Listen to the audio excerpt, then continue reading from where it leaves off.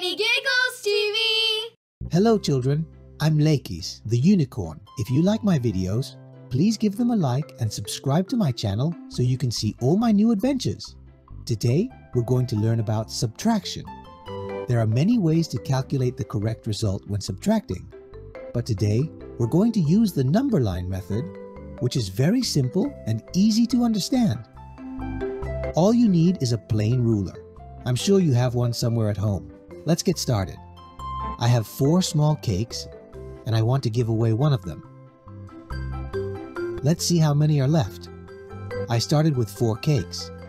So we place our hand on the number 4 on our ruler. And since we want to give away only one cake, we make a small jump to the left. Did you figure out how many cakes remain? That is correct. 3. Remember children, whenever we subtract, our hand always makes little jumps to the left.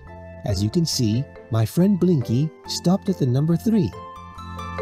Therefore, 4 minus 1 equals 3.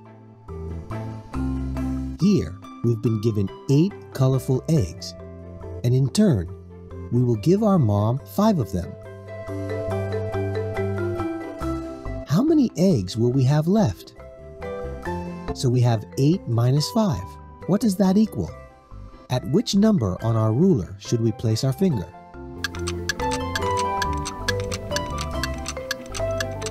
That's right, on the number 8. As you can see, and my friend Blinky has already reached 8. Since we gave our mom 5 eggs, we need to make 5 jumps. Do you remember which direction to go? Right. Because we're giving away the eggs and subtracting, we always go to the left. So let's count. 1, 2, 3, 4, 5. We stopped at the number 3, which is the number of eggs remaining. Therefore, 8 minus 5 equals 3. Blinky is already on the correct number and is sending his greetings. Let's look at our next example. We have 7 bottles of milk and we want to give 3 of them to a friend. How many bottles will remain? That is, we have 7 minus 3. What is the correct result? Just like before, we place our hand on the number 7, and since we gave away 3 bottles, we make 3 jumps to the left. 1, 2, 3. The number at which we stopped is the correct answer. Therefore, 7 minus 3 equals 4. Now let's count how many jars of honey we have here.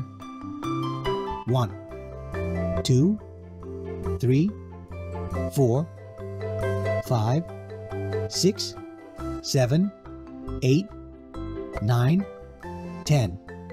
Very good. We need to give four of these jars to our dad. How many jars will remain? So we have 10 minus 4. What does that equal? At which number on our ruler should we place our finger?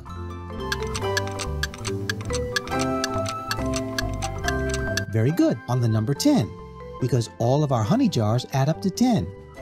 Since we know that we gave our dad four jars, how many jumps to the left should we make?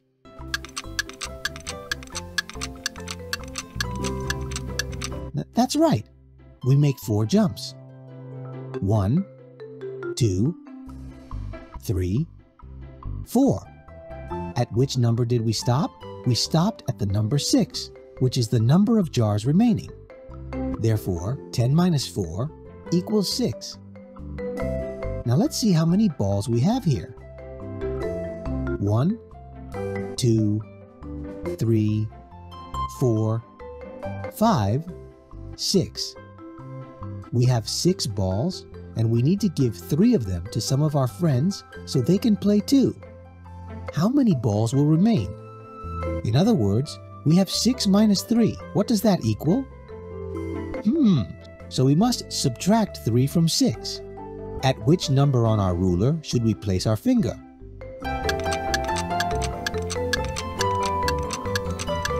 Correct?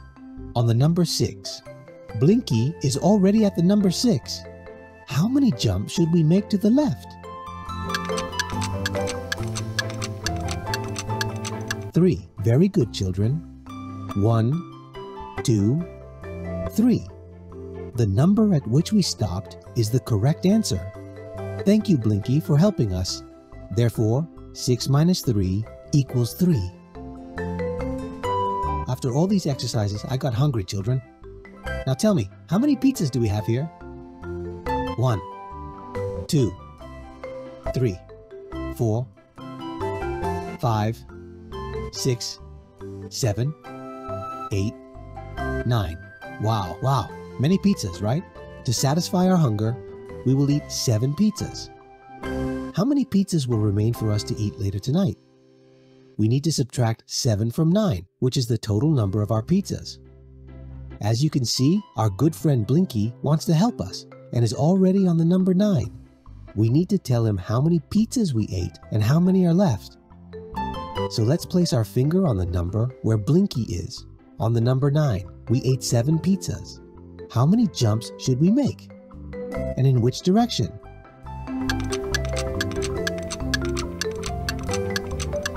Very good. 7 jumps. And because we are subtracting, we always go to the left. So let's count. 1, 2, 3, 4, 5, 6, 7. We stopped at the number 2, which is the correct answer. Hey Blinky, come to number 2. So children, 9 minus 7 equals 2.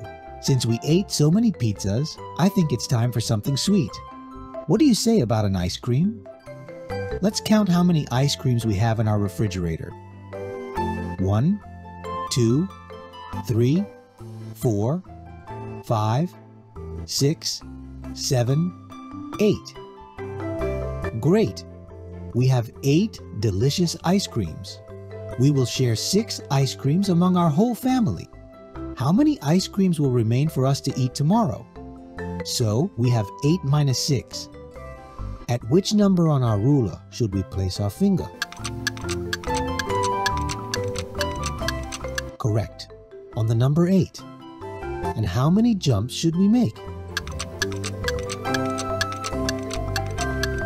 Very good. We should make 6 jumps, always to the left. Don't forget that. When we subtract children, we always go to the left. So let's count.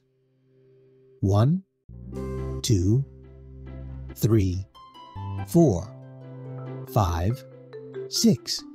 We stopped with our friend Blinky at the number 2, which is the correct result. Therefore, 8 minus 6 equals 2. In my room, I have four beautiful little boats. One, two, three, four. I want to give two of these to my brother so we can play together. From which number should I start? Very good, children. I should place my finger on the number 4 on my ruler. And since I gave my brother two boats, I will make two jumps to the left. One, two. The number at which we stopped is 2, so I will have two boats left to play with. Thus, 4 minus 2 equals 2. Today, we learned subtraction.